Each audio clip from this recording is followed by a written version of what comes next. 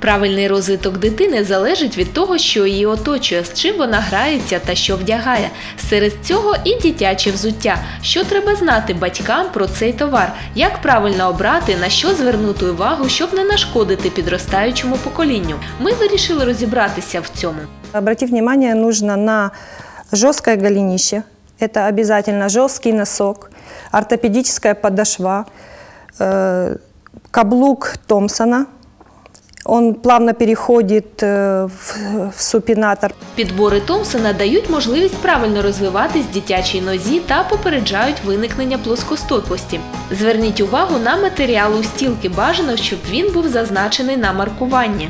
Если у ребенка потеет ножка, то могут возникнуть и экземы, и разные другие болезни, и грибок. Експерт сертифікації також наголошує на відповідності стандартам якості. Если используются некачественные материалы, то это последствия могут быть э, очень разные. От элементарного плоскостопия, э,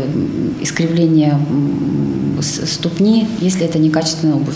Зараз сертифікація дитячого взуття не обов'язкова, але існує державний стандарт взуття дитяче, який містить всі необхідні вимоги. Сертифікація детской обуви відмінена буквально года два назад.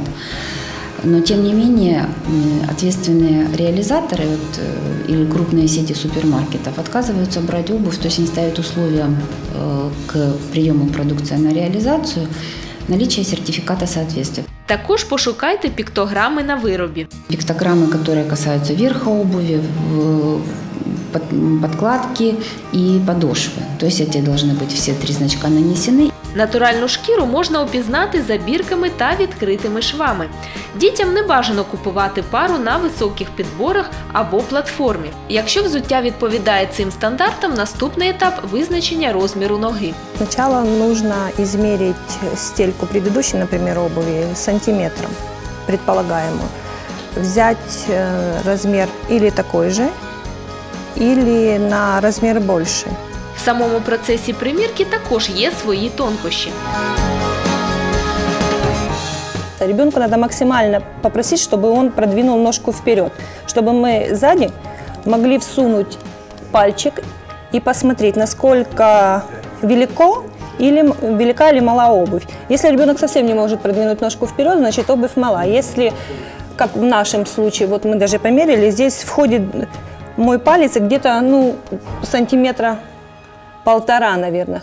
Я бы выбрала ребенку обувь поменьше, потому что как при ходьбе она будет, да, Анют, нам будет неудобно.